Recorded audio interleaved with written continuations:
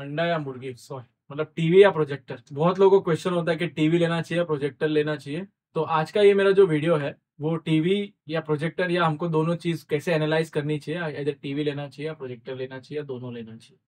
तो हाय मेरा नाम हार्दिक है, मेरे चैनल का नाम वेलिंग है एंड आज हम लोग जो वीडियो एक्सप्लेन में कर रहा हूँ that is for the TV versus projector तो उसके कुछ पॉइंट्स हैं जो मैं आपको एक्सप्लेन कर रहा हूँ। तो जिससे आपको थोड़ा आइडिया आ जाएगा और आपको थोड़ा इजी हो जाएगा ना कि अपने को टीवी लेना चाहिए या प्रोजेक्टर लेना चाहिए। तो सबसे पहले होता है स्क्रीन साइज़ मतलब कि कितनी साइज़ हमको मिल रही है। इधर हम लोग जनरली अगर मान लो कि टीवी तो आपको सबको पता है कि डेली यूज़ में हम लोग टीवी यूज़ करते ही तो अगर हम लोग कोई लिविंग रूम में प्लान कर रहे हैं और हमारे पास अगर स्पेस बहुत कम है फॉर एग्ज़ाम्पल तो जनरली क्या होता है कि अपन 43 इंच या 32 इंच या 55 इंच तक टीवी वेरी फिजिबल हो जाता है। बट अगर हमारे पास कोई बड़ा स्पेस है एंड अगर हमको कोई मूवी देखना है या फिर कोई मैच एंजॉय करना है, और जनरली क्या होता है प्रोजेक्टर में आप कितने भी साइज़ तक मतलब कितने भी साइज़ मतलब आप 100 एज 120 135 150 इंच तक पे आराम से स्क्रीन साइज़ तक जा सकते हो। सेकेंड होता है कॉन्ट्रास्ट रेशियो कॉन्ट्रास्ट रेशियो मतलब होता है कि आपका कम लाइट से लेके हायर लाइट तो जनरली क्या होता है कि जो टीवी होता है टीवी का जो लेंस होता है वो टीवी के अंदर से ही निकलता है। मतलब उसमें कोई अलग से चीज़ नहीं होती।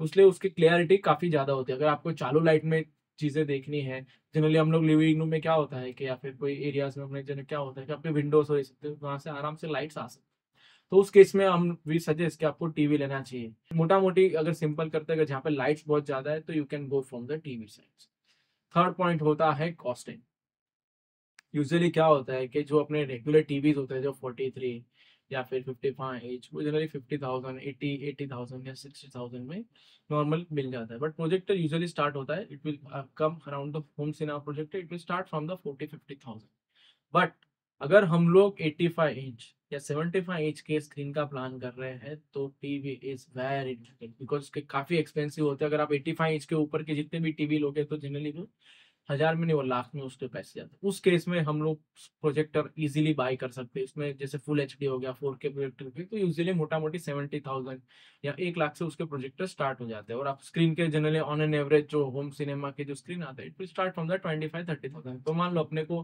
कुछ हंड्रेड एंड टेन इंच का भी प्लान करना है तो वो हम लोग एक या डेढ़ लाख की आसपास ऑन एन एवरेज कोस्ट के हिसाब से हम लोग प्रोजेक्टर प्लान कर सकते हैं।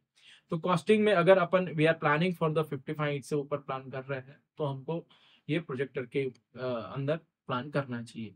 फिर होता है in terms of maintenance maintenance में जनरली क्या होता है कि प्रोजेक्टर अगर हम कोई रख रहे हैं तो उसको एक प्रॉपर से एक स्ट्रक्चर जगह चाहिए, उसको थोड़ा प्लान से प्री प्लान करके उसको लगाना पड़ता है। अगर मान लो कि कोई हम होम थिएटर बना रहे हैं, अगर या फिर कोई एक ऐसा एंटरटेनमेंट रूम है या लॉन्च रूम है तो उसका प्री प्लानिंग प्री वायरिंग होता है। तो भी हम लोग प्रोजेक्टर रख सकते हैं। हाँ अभी बहुत सारे short throw ultra short throw projector भी है। जस्ट उनको, हमको खाली टेबल के ऊपर रखना ही है। जस्ट थोड़ा व्यूइंग डिस्टेंस पे तो हम प्रॉपरली हंड्रेड या वन ट्वेंटी इंच का स्क्रीन एंजॉय कर सकते हैं। बट रेगुलर प्रोजेक्टर के लिए आपको प्रॉपर वायरिंग उसका करना पड़ता है। जो टीवी के केस में जस्ट इस प्लग एंड प्ले डिवाइस आपको जो भी वॉल पे है, अगर आपको सॉकेट या कोई भी चार्जिंग पॉइंट मिल रहा है तो वहीं पे आप टीवी लगा सकते हैं। इन टर्म्स ऑफ़ मेंटेनेंस के हिसाब से टीवी इज़ द फिजिबल क्योंकि प्रोजेक्टर को काफ़ी अच्छी तरीके से उसको मेंटेन करना पड़ता है। एंड लास्ट पॉइंट होता है अवर पर्पस हम किस चीज़ के लिए और क्यों ले रहे हैं? If for example if you are making a home theatre या होम सिनेमा लॉन्च हो जाए TV can not beat the projector because it will give the different feeling proper आपको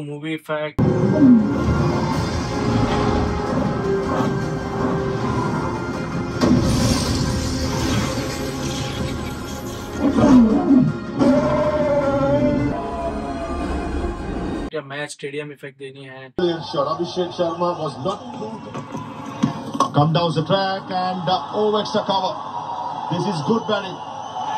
आपको 120 इंच का स्क्रीन एंजॉय करना है तो projective is the best option तो अपना पर्पज भी हमको एक्सप्लेन करना चाहिए। अगर मैं आई विल ऑलवेज सजेस्ट आपके घर में ऑलरेडी एक टीवी है if you are planning for the other room like master bedroom है, या फिर आपका कोई मल्टीपर्पज रूम है you can go for the projector thank you so much watching our video अगर आप प्रोजेक्टर का प्लान कर रहे हो तो हमारा ये वीडियो आपके लिए काफ़ी हेल्पफुल हो सकता है।